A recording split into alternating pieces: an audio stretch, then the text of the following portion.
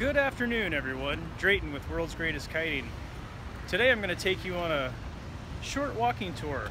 After last week, I told you about a building over here downtown, and I asked if you guys would be interested in maybe walking around town with me every now and again, learning some history about some of these buildings in beautiful St. Petersburg, Florida, also known as the Sunshine City. So what I'd like to do is uh, tell you about a building really close to uh, where I live, which is a very historical building. Actually, I live in the oldest building in St. Petersburg, the Detroit Hotel. And I'm going to show you I'm going to show you a building just down the block called the Snell Arcade, built by Mr. Snell a very long time ago. He was a real estate agent. He was a entrepreneur. He's an eclectic personality. And we're going to see the building that he built that's very, very famous right here in beautiful St. Petersburg, Florida. Your Sunshine City. Right next to the Municipal Services Center is the Snell Arcade.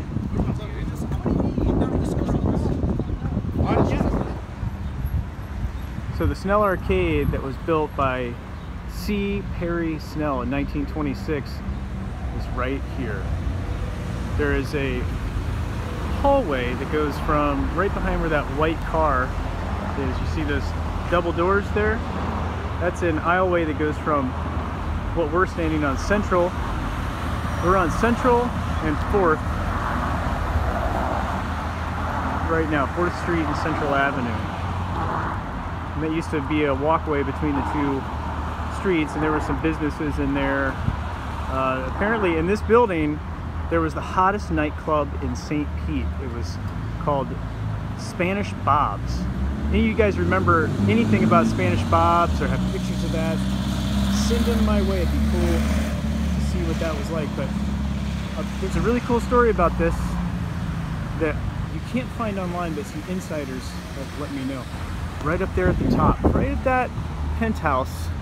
See, this is where his his penthouse is. His offices were in here, and then right up there, there's two small rooms uh, living quarters, but they're about 200 uh, square feet for each of the rooms up there. But anyway, this penthouse was prepared for Mr. Snell's mistress, who people of St. Petersburg knew who she was, her relationship to Mr. C. Perry Snell, and did not like it so much. So she had a hard time, let's say, fitting in socially with her peers around St. Petersburg. So he prepared that penthouse so she could look down at all the people that didn't like the idea that she was the mistress of probably the most wealthy person in town, the definitely the most successful real estate agent in town, but this was his building right here. If you would like to own one of the seven condos that are available in this building, you can. One of them is for sale right now. And just for the, the price of, I believe it's $4 million is the highest priced, from $360,000 for the smallest one to, to $4 million, which would be incredible to see. But if you'd like to, uh, to check it out, I'm sure you can.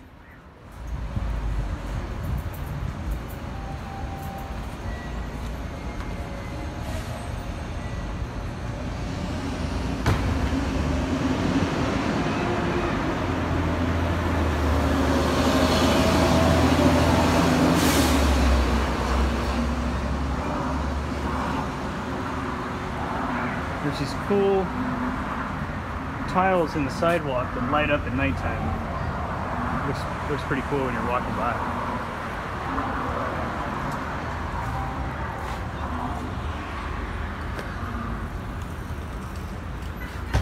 It's almost like ceramic. It's cool.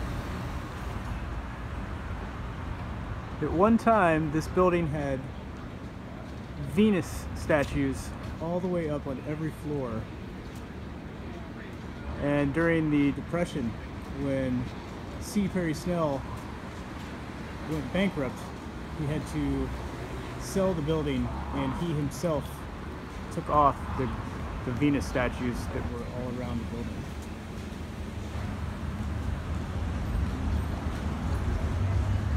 There's a courtyard right above there. You can see pictures online.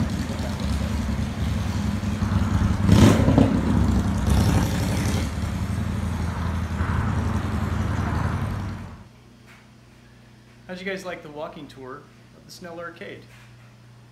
Next week I'll take you on another walking tour of another building somewhere nearby. But here, I wanted to show you one thing before, uh, before we part ways for the evening. Check out this kite. I'm looking here in this magazine. That is a kite. That's a quad line kite. There's four lines on that and they make it very controllable. I'd love to see that fly, but do you want to know where I'm seeing this picture? I'll show you. This is the AKA magazines, Kiting, the Journal of the American Kite Flyers Association. You too can receive this magazine through the year with full of pictures, different types of kites, Look at these kites. This is some serious art that goes into this guy's kites. There's there's really interesting articles in here about uh, festivals, people making kites, events going on around the country, around the world. Uh, it's very cool it's a cool thing to be a part of. If you want to join the American Kite Flyers Association, it's about 20 some dollars for the whole entire year. You get this magazine, you get some other stuff in the mail. Uh, it's a good thing to be a part of. It keeps you connected. So check it out. Uh, if you want to see more from this magazine, let me know. I'll, I'll put some posts up uh, through the next few weeks until we get the new episode coming in the mail, but I got some old magazines that I know some of you said that you wanted to see some of the old articles in. So uh, we'll start with this. I'll show you a couple things from the current episode of kiting, and then we'll move on. So thanks for watching. Have a good night. I'll see you tomorrow, and happy flying.